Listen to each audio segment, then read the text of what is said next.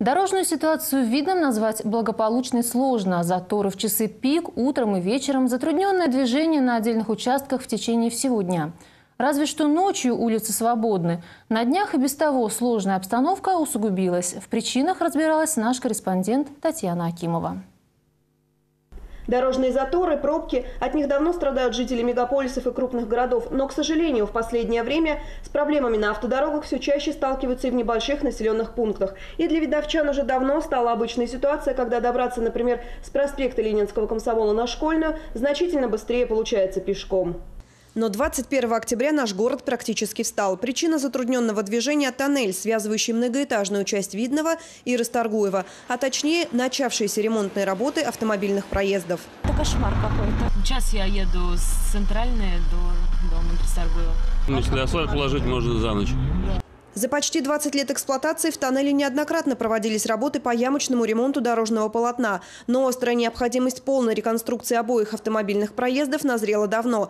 Дело в том, что бетонное основание дороги пришло в негодность, полностью раскрошившись. В таком случае простым латанием ям не обойтись. Сейчас снимаем то э, металлической конструкции бетон, потом заливается новый бетон с армокаркасом, два слоя э, обклеечной изоляции, устанавливается водоотводный лоток и, соответственно, еще два слоя асфальта еще. Завершением работ станет восстановление бетонных отбойников и установка перед въездами в тоннель ограничителей на габариты транспорта, препятствующие проезду автомашин высотой более 3,5 метров.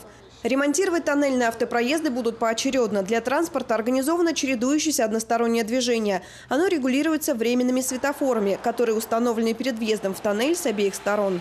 Мы будем регулировать, есть такая возможность, работы светофорных объектов э, в одной или в другой стороне, ну, уменьшая продолжительность, как говорится, зеленого или красного света. Именно реверсивное движение и стало причиной заторов. Но отчасти виноваты водители, которые не всегда уважительно относятся к другим участникам дорожного движения, нарушая правила и норовя проскочить под запрещающий сигнал светофора.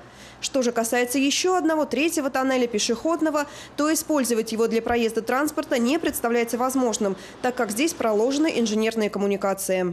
Мы приносим, конечно, извинения за временные неудобства для автолюбителей, но мы просим выбирать маршруты объезда. К сожалению, это очень насущный вопрос для города, и мы его обязаны выполнить в этом году. Сейчас рабочие компании «Стройпроект» трудятся в одну 12-часовую смену. Но если будет необходимо, то ремонтные работы будут вестись круглосуточно. Реконструкция тоннеля должна быть закончена до 30 ноября. Ремонт ведут. Молодцы ребята делают. Было очень плохо. Сейчас, наверное, будет лучше. А что касается вот э, проблем с движением? Ну, проблемы, конечно, есть с движением, но как их избежать? Не без этого. Потерпим. Потерпим. Татьяна Акимова, Алексей Ильин, Елена Кошелева. Видное ТВ.